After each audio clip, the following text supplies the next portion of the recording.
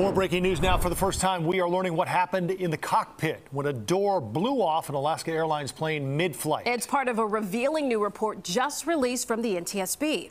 CBS 2's Sarah Maki is combing through the documents and joins us now. Sarah, they are confirming now that four critical bolts were missing. Yeah, four, not just one here. These four bolts prevent a door plug, which is used over an unused exit door from moving vertically. But investigators say those bolts were removed at a Boeing facil facility to do some other work on the aircraft and then somehow never replaced.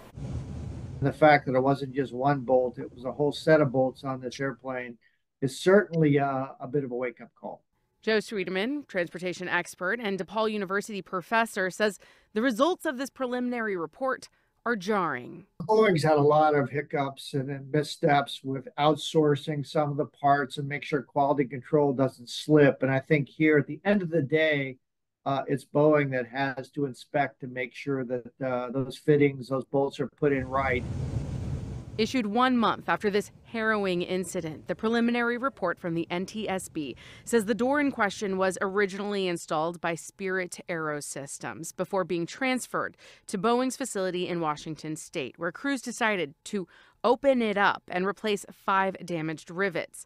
In this photo from Boeing, you can see circles around several spaces where the bolts were still missing, never replaced, allowing this door plug to move upward and away from the aircraft. Also, in their 19 page report, for the first time, accounts from the flight crew. Authors writing the captain reported hearing a loud bang. The flight crew said their ears popped, and the captain's headset was pushed up, nearly falling off his head. The incident forced the FAA to order a temporary global grounding of Boeing's 737 MAX 9 planes and immediate inspections. The head of the FAA telling lawmakers today I think we're going to need more boots on the ground. We're going to need more inspectors. Boeing president and CEO Dave Calhoun saying whatever final conclusions are reached, Boeing is accountable for what happened. An event like this must not happen on an airplane that leaves our factory.